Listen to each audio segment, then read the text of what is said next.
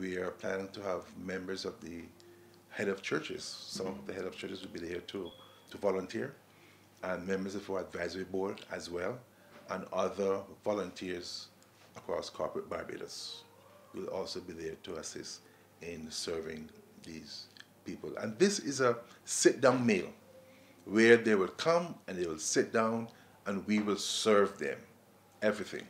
And that includes um, the main course plus dessert.